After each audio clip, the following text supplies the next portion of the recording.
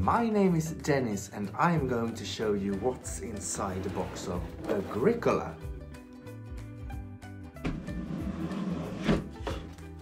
Bags.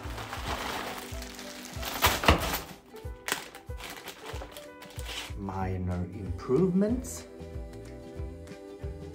Occupation cards. Major improvements. Like this. Building tiles. Clay hut and stone hut. Food tokens. And there is wooden hut. And field. And the player pieces. A fence a stable and the worker. The blue, the red, the wooden and the purple. And we have the action space cards. Fencing, house redeveloping, wish for children. Yeah, that's how it works. Not. Resources clay, reed, wood, coal,